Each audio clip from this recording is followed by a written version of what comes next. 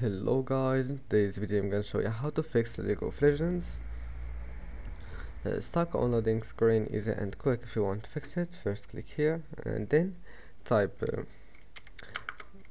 uh, type Windows update settings.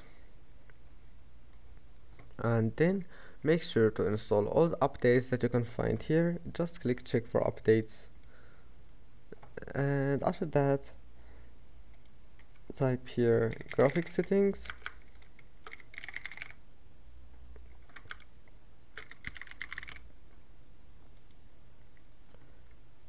And after that enable the first option here and then click browse. Now we need to find the uh, League of Legends folder. And click League client and then click add and after that click options and click high performance save it and now your problem must be fixed. Don't forget to like and see you in the next video